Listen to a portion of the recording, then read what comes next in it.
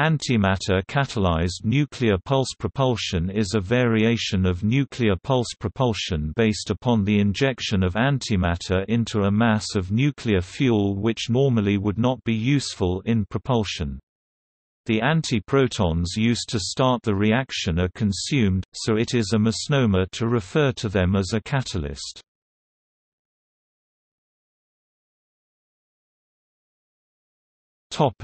Description Traditional nuclear pulse propulsion has the downside that the minimum size of the engine is defined by the minimum size of the nuclear bombs used to create thrust. A conventional nuclear H-bomb design consists of two parts, the primary which is almost always based on plutonium, and a secondary using fusion fuel, normally lithium deuteride. There is a minimum size for the primary, about 25 kg, which produces a small nuclear explosion about 1 100th kiloton 10 tons, 42 gigajoules, W54. More powerful devices scale up in size primarily through the addition of fusion fuel.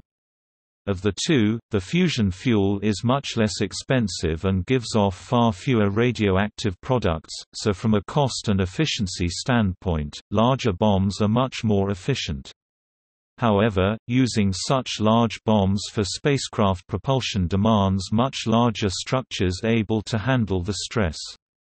There is a trade-off between the two demands.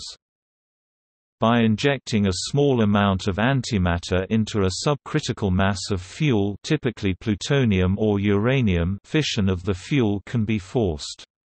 An antiproton has a negative electric charge just like an electron, and can be captured in a similar way by a positively charged atomic nucleus. The initial configuration, however, is not stable and radiates energy as gamma rays. As a consequence, the antiproton moves closer and closer to the nucleus until they eventually touch, at which point the antiproton and a proton are both annihilated. This reaction releases a tremendous amount of energy, of which, some is released as gamma rays and some is transferred as kinetic energy to the nucleus, causing it to explode.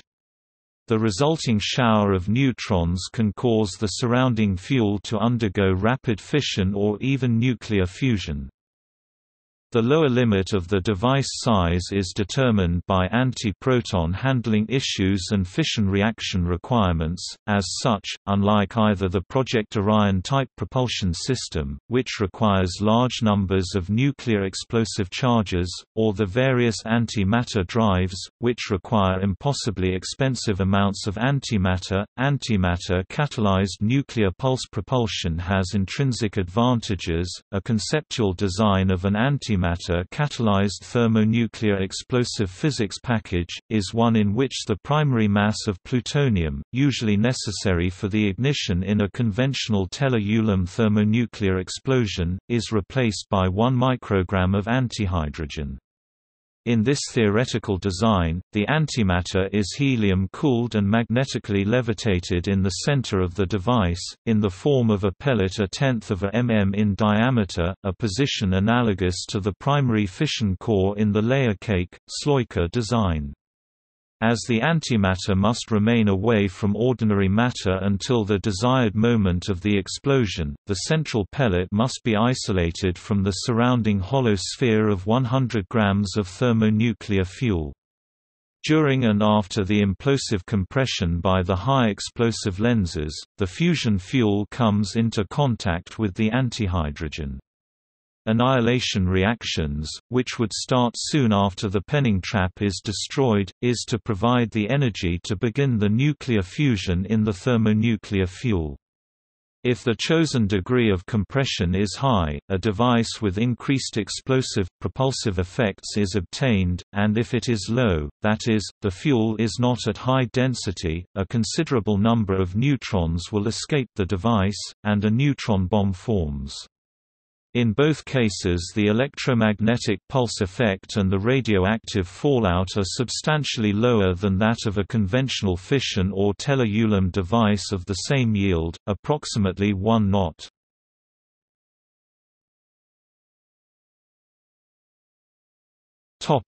Amount needed for thermonuclear device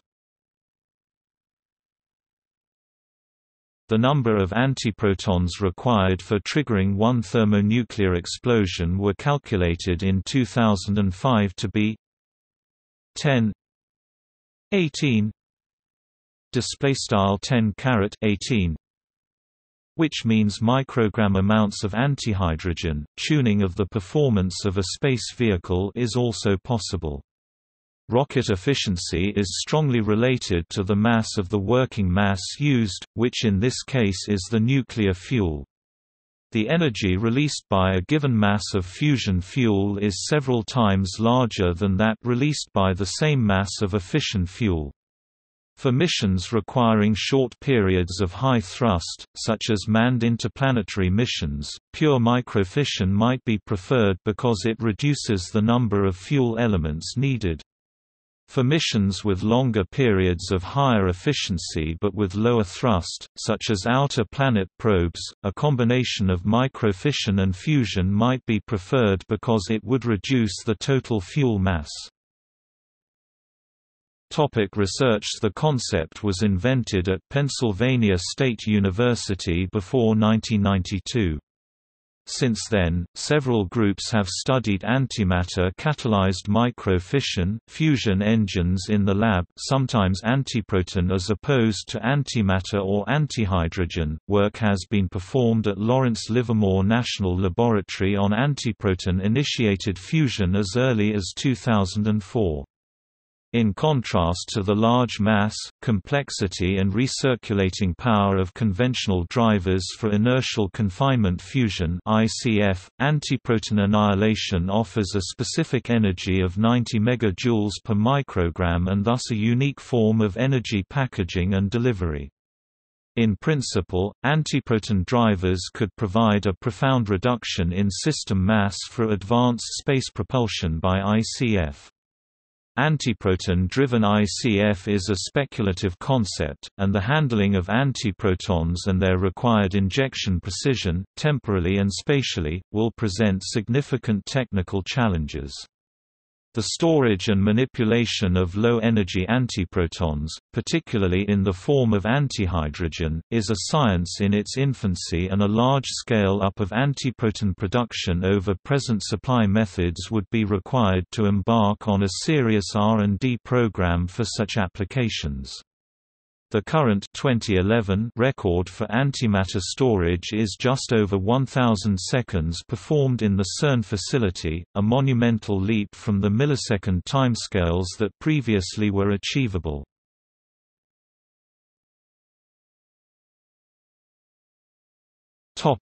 See also ICAN 2 AIM-STAR Antimatter rocket Antimatter weapon Nuclear pulse propulsion